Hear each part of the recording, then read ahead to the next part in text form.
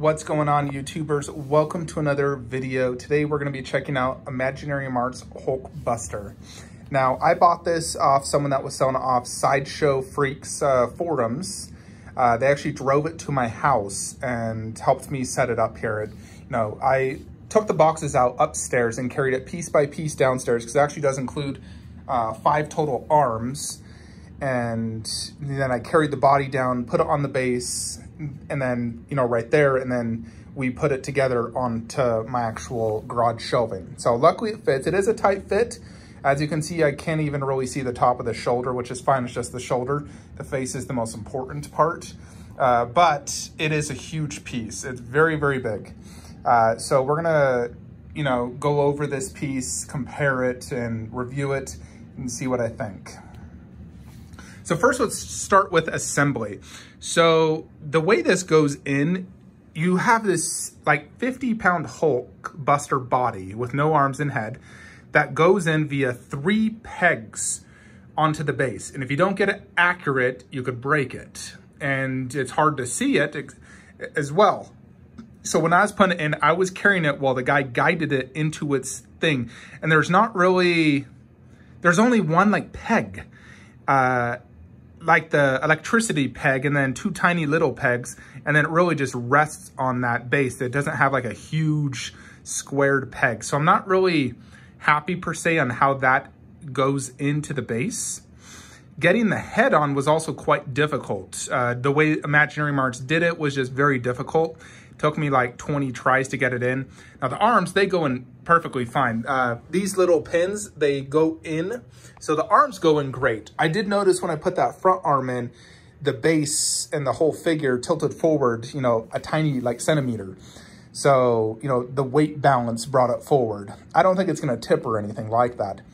But in general, I would probably put the construction like a three out of five or two out of five. I wasn't totally happy with how it went together. And it feels like it is a little bit wobbly. Like if you were to push it, push it, you know, it would fall over easier than like, let's say that Hulk statue would, for example. The base, I believe, is made out of fiberglass, so it's not super, super heavy, and I feel like it should be heavier. I feel like that should be extremely heavy to support Hulk Buster, so uh, the actual parts, uh, like the arms and the body are very hefty and weighty. The base I just feel could be a little bit weightier. So I'm basically going to talk about all the negatives first. So the, the way it goes together, putting the head in, the base in, sucks. The base is decent. It's just like a rock, rocky road. Uh, you know, a road that's been ground up with dirt and it's a, it's a nice looking base. You know, it's uh, probably better than my other Hulkbuster base, that one over there. That one's also like a road with like a weird wall. You can see the size comparison like that versus this beast. This one's definitely a lot bigger. I can't move that one really. It's just so, they're so heavy, but I can at least, you know, like show you an arm comparison next to the 1.6 version. Uh, I, I think that 1.6, um, they're both so big. But let's check out this base. So I do like the base, the way the road's being destroyed because, you know, I was just watching the fight on my phone. It's definitely destroyed. So it looks like a real road that's just been broken up, dirt, rocks everywhere. So I do like the base. I think it probably could be improved, maybe adding an underbase and a sign that says Hulkbuster and the mark, whatever mark this is, I forget. But you know me, I like the underbases. You know, like this underbase is awesome with this, uh, you know, Hulk thing that you can put here. So that's quite cool. So you can, you know, put that like that. It's just really cool looking. So I wish he had something similar like that where this was on top of another underbase. Now let's look at the actual Hulkbuster body. So my seller, he's probably never dusted once in his life because when I dusted this, literally a coat of dust just flew off. It was unbelievably dusty. I'm like, oh my goodness. So yeah, folks, please dust your statues. These are expensive collectibles. Uh, but, you know, basically it's red, gold, silver, and this has a very battle damaged look to it The legs are huge. The feet, look at that, bigger than my hand. This one definitely has a ton of battle damage, just like my other Hulkbuster does, actually, where there's tons of scratches and uh, almost like burn marks, uh, which I personally like. I like a battle damage look for Iron Mans and costumes in general. I think it just looks great.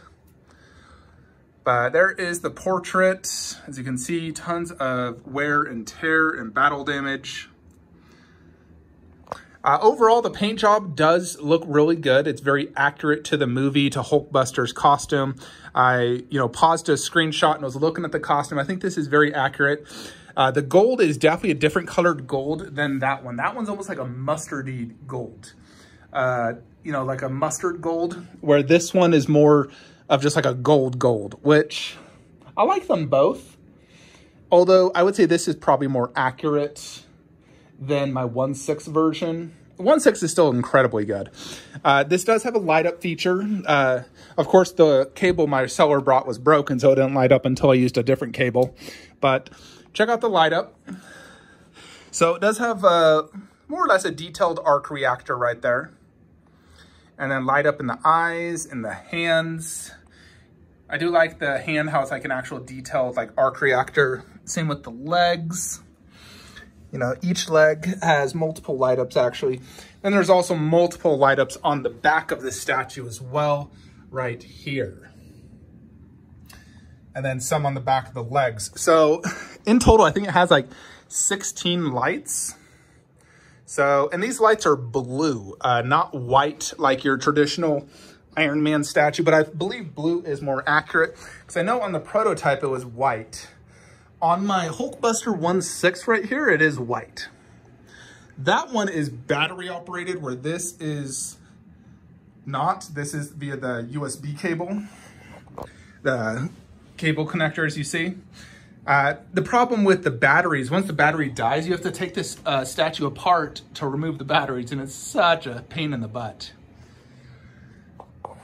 So overall, paint and sculpt, I think is fantastic. It definitely is extremely good. You know, I'm just trying to compare this. I really probably should just bring my 1.6 and place it next to it. Let me do that. Alrighty, folks, so here is a side-by-side -side comparison of the Hulkbuster 1.6 by Iron Studios next to Imaginarium Arts. Keep in mind that's about two inches taller. But I do think it looks uh, you know, the 1 4th is obviously superior, uh, having them side by side. I think the 1 4th has more detail. There is some things I like about the 1 6. You know, like for example, look at the feet difference. This one has a ton of weathering on the feet, where that one just has the whole scratches and burn marks. I don't know if that's necessarily a good or a bad thing on the 1 6 or 1 4th. Just preference, they both look good. I think I prefer the gold tone on this better than the mustard look. This has detailed arc reactors, where this one's just white. Uh, for example, look at the chest and the hand. Uh, just white, where this one is actually like detailed. I still think this 1-6 is absolutely amazing. Don't get me wrong, but the 1-4th is king. Now I know uh, Queen Studios is also coming out with a Hulkbuster. And I'm sure some of you might question why get this one, why not wait for Queen? Now, Queen showed uh, sort of concept where it was just a very basic museum pose and it had a very large base. So the reasons I went with this one, one, action pose with tons of switch outs. Uh, I am a much bigger fan of action pose, especially since as you see, I'm pairing it with an action posed Hulk, and I just think they pair better together, having an action posed Hulk and an action posed Hulk Buster versus a museum style. And I know the museum one would not fit in here because of that monster base. It'd have to go top shelf. Uh, so, and also this is available now. I don't have to wait two years. And this is definitely going to be cheaper. I paid $2,000 cash for this, where the Queen will probably run 2500 plus shipping another seven or 800. So it's going to be a $3,000 purchase. So $1,000 more, wait two years for a museum pose. No thanks. This already looks very movie accurate. The detail's fantastic. The paint job's fantastic. I do love the pose options and it has incredible presence. That's one thing about this piece that really, you know, just looking at next to other One Force, it's a beast. It's huge, thick, girthy, looks awesome. Very, very big presence. I can imagine how much more presence it'd have if it was like top shelf. Uh, it's very tempting to put it top shelf, but the only way I do that is that and Hulk Bust, and then do the other three down low. But I really want to do Hulk Buster versus Hulk uh, like this. So I'll probably just keep it just like this, to be honest. I thought about having them face each other like I do my 1-6, but I won't do that. Uh, but he does come with a plethora of switch outs, and I haven't tested those yet. So he's currently in what's uh, considered, I guess, a defensive mode. Uh, so he's back arm up, almost like, it almost looks like it's a punching uh, arm as well. Like this one's defensive, this one's punching. Uh, but let's check out some of these switch outs because he has three of these arms and you can just see, you know, I can show you guys a size comparison. You know, just look how big that is. I was like, look at the size difference. Uh, one fourth to one six. You can see, you know, like the paint difference of the shoulder pads. So, yeah, tons of detail.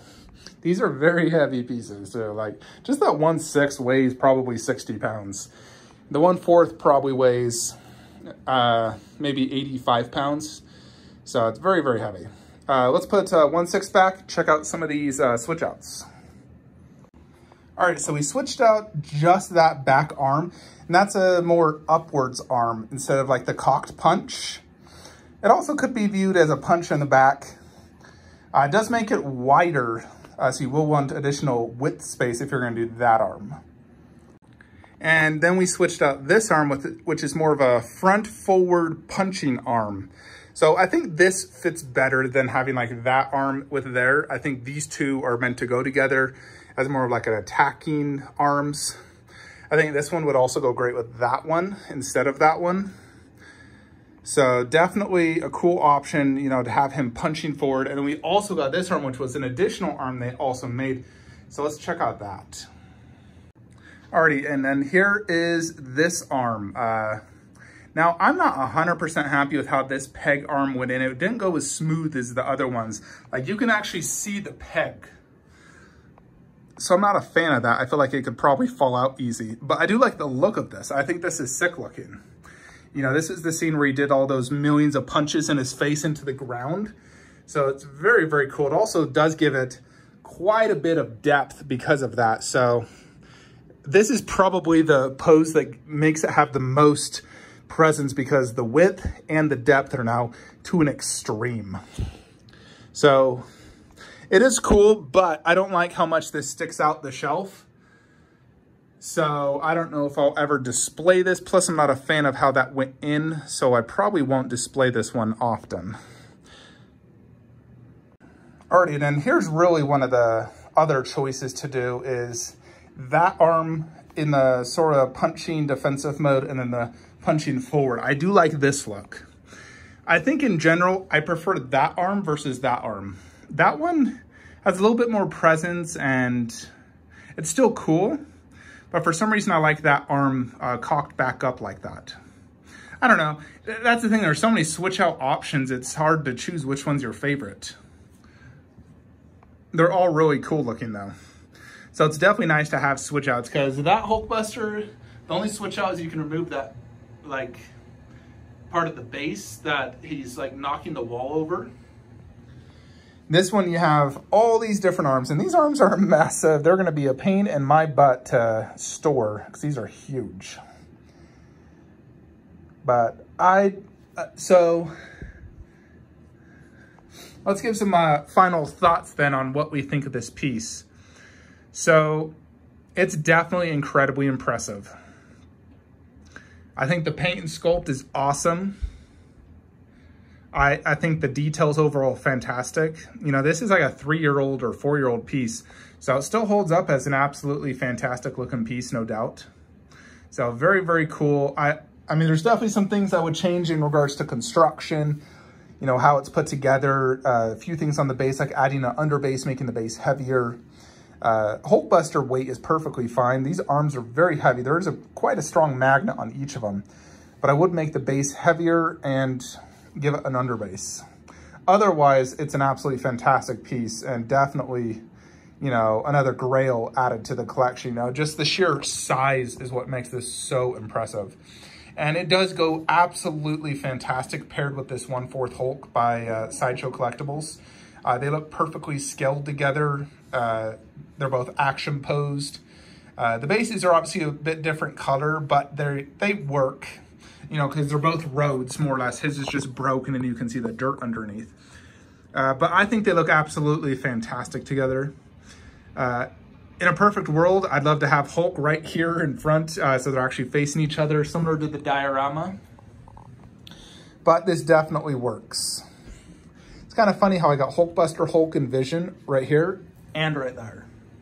Now, I'm probably going to end up selling this set right here uh, to fund future Queen Studio uh, products, uh, you know, like another bust in one fourth. I just don't need two of the exact same item if I have it in different scales. Uh, so I think ultimately, you know, I'm not going to sell my Avengers 1 diorama or Endgame, but I can definitely see myself uh, selling this set. Uh, it's not something I have to do like right now, but, uh, you know, for space concerns, whenever a future Queen bust comes out, like I want to do a bust one fourth right there, I think uh, I would want that space for that instead of an exact same scene uh, where ultimately these two are superior than the Iron Studios. I mean, it's bigger, so it should be, but Hulk's better than that Hulk, and Hulk Buster's better than that Hulk Buster. Uh, not to say these aren't fantastic, as for a 1-6, they absolutely are amazing. But I would sell those, so if anyone is interested, uh, message me. I'd sell them for uh, probably 2000 plus shipping for the set. Uh, but overall, this Hulkbuster is absolutely fantastic. It's limited to 500 worldwide. Uh, should you hunt this down or wait for Queen, it depends on your situation, your space, and funds. Like I said, Queen's going to probably be $3,000. It's going to be bigger. It'll probably have a shinier paint job, but that doesn't necessarily mean that's better because this is very accurate to the movie. You know, just like... Uh, like these uh, Iron Mans by Iron Studios are not 100% accurate to the movie, but I love their paint job. And this one definitely is very, very good and definitely keeper in my book. So I'm very happy I finally got it. Because I was really wanting this for my Age of Ultron display, as you can see. You know, all the important characters. So I'm loving it. Anyways, folks, let me know your thoughts and comments below, suggestions, tips, and whatnot. Hope you enjoyed this video. Like, comment, subscribe. Have a great day. Folks, before I end the video, I wanted to ask your opinion on what you think of this, doing the Hulk next to his bust and Ultron next to Hulk Buster. My buddy says to keep it this way so you can have the bust next to one-fourth, the two robots underneath, and those two next to each other because they also have matching bases, because uh, they are part of like a line. So what do you think of this? I think I might just keep it like this. Uh, I think uh, they all look fantastic like this as well. Anyways, let me know your thoughts. See you guys next time.